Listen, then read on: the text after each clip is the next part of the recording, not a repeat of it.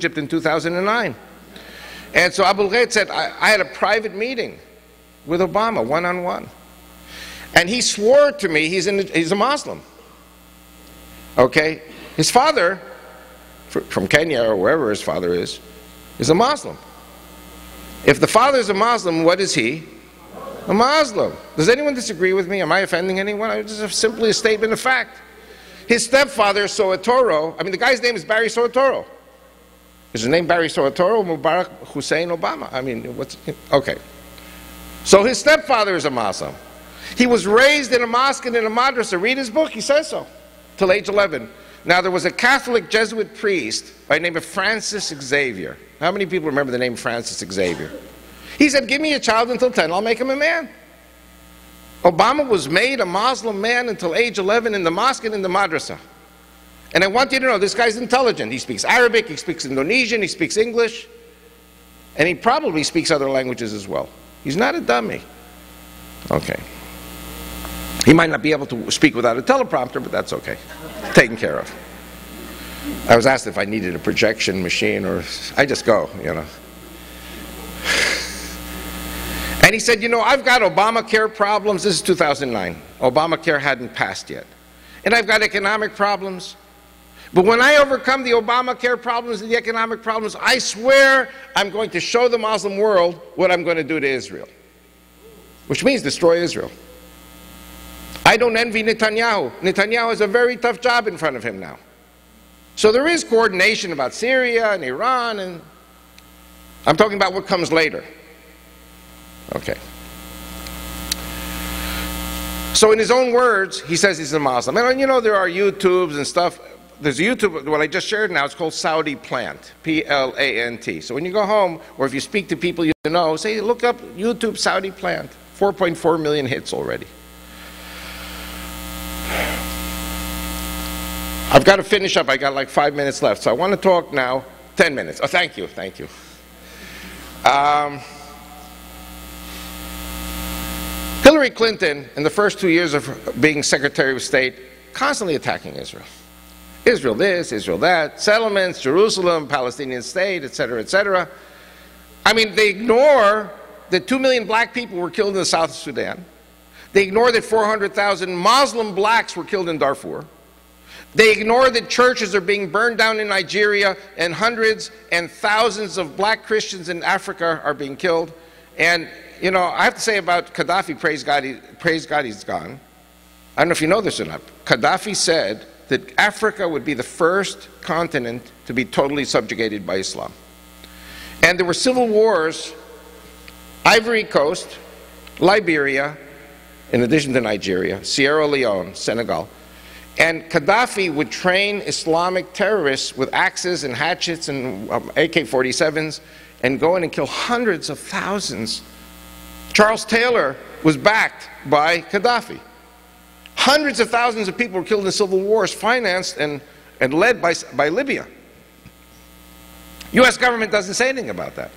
Only thing the U.S. government talks about is Republicans and Democrats. Israel, Israel, Israel.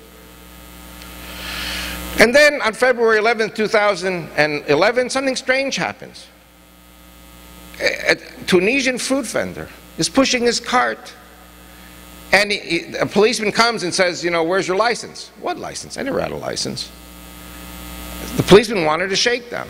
So he arrests the guy. They confiscate his cart. They confiscate his scales, you know, where he weighs his fruit. That's the only property the guy had.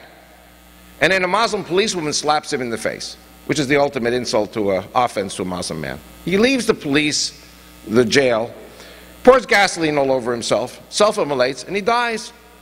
And of course, as you probably know, Tunisia was under the French, is a French francophone country. Everybody has cell phones. Everybody has Google and Twitter and Facebook and all these things. And within minutes, Tunisia was up in flames. That was the beginning of the Arab Spring. And then it spread to Libya. And by the way, in Libya, it's never going to be over because you got tribes that are committed to killing each other. It'll never end. Wait a second. Uh, you, you ain't heard nothing yet, and I have to wrap up already. Egypt. And I don't want to preach the Bible, but it, you know, there are passages that if I said it two years ago, you'd think I was crazy. But Isaiah 19, verse 1 and 2 say, Egyptian will fight Egyptian, Brother will fight brother, neighbor will fight neighbor, city will fight city. You heard dozens of people killed in a soccer game, soccer between Cairo and Port Said. And now Morsi is in danger of being overthrown in a civil war in Egypt because city is going to fight city. It's God's word. Uh, for those who believe in God, I believe in God. I follow his word. Ezekiel 29 says, now this is the important one. Ezekiel 29 says that Egypt will become a desolation for 40 years. In other words, nobody will live in the Nile River Valley for 40 years. That's not me, that's God saying it. Did it ever happen in history? It never happened. It doesn't say the Egyptians are going to die. It says the Egyptians are going to be scattered to all the nations on the face of the earth, and then God will bring them back in 40 years.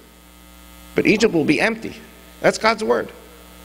So let me ask you a question, give you one wild guess. Where are these Egyptians going to go? 76 million of them. They're going to come here. And Agenda 21 is going to give, provide for them the infrastructure. They're going to live in tents for a few months. You know, one of the signs of a growing economy is building, building starts. Do you know that America is now undergoing a boom in uh, housing starts? How many people know that? The American economy, you know, Wall Street's almost up to 14,000 today. Okay. And I'm telling you, with all these Muslim immigrants, you're going to have to build homes. Uh, there was a Marine, ex-Marine, was calling me every day. How many people heard of Chuck Missler in Koinonia House, Idaho? Because I work a lot with him. And uh, he was calling me while I was there. He was in California. And he was serving as a chauffeur, and his Marine commander was the tour guide for three Saudi princes. And they were driving around California and saying, this bank we're going to buy out, and then the other bank we're going to collapse, and then the bank that we bought out will buy the bank that collapsed. And all these homes that are being foreclosed by the banks, you know, the people who pay, are paying and their still their houses get confiscated, foreclosed. The Saudis buy those too. I mean, the banks owned by the Saudis buy those too because you've got all these millions and millions of Muslims pouring into this country. And you've got the Agenda 21, the parks and the forests and the farms and the lands. I mean, Florida, I don't want to say it's empty, but Texas, Oklahoma, Kansas, there's so many places empty. You can easily put 10, 20, 50, 100 million Muslims there. And who's going to pay for it? The Saudis. The Saudis pay for everything. And your gatekeepers in Washington are bribed to the extent that nobody is, is accountable for the entry of these tens of millions of Muslims into this country. And you know, I go to places where they don't like Hispanics and they don't like these foreigners and they don't like Hindus. And Hispanics are not out to destroy America. Hindus